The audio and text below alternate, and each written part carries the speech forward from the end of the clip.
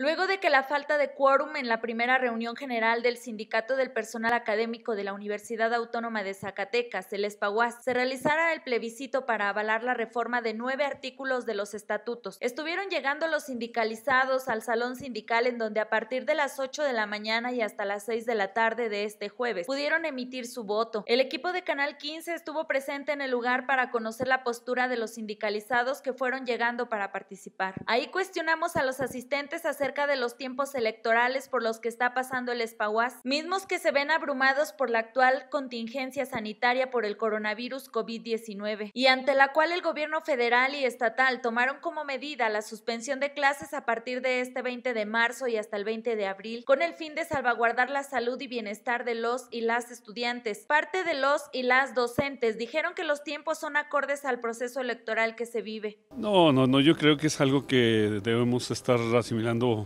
con el tiempo. La gente que no se entera puede pensar que es algo apresurado, pero quienes de alguna forma pues leemos, vivimos de la vida universitaria, vemos que son procesos que, que tienen un tiempo, que maduran y que hay que tomar decisiones en torno a ellos. No, yo creo que eh, estamos muy a tiempo de que siga el proceso y ya, irnos a, a la cuarentena.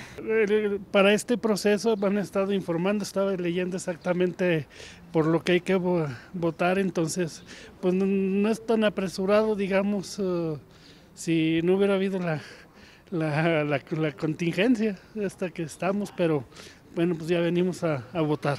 Por otro lado, algunos y algunas docentes expresaron que se siente un ambiente presionado debido a la elección en el Espaguas, sumada a la de rectoría y a la de las unidades académicas. Yo creo que está muy, muy presionado todo porque es elección de rector, es elección del comité ejecutivo y elección de las directores de las unidades académicas y también coordinadores de área.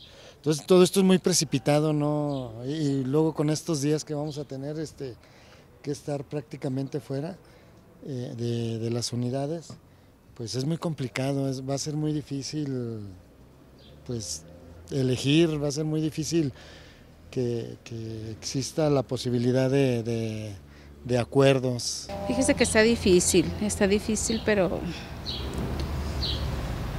pues se tienen que hacer, son tiempos que, o sea, son cosas que se tienen que hacer.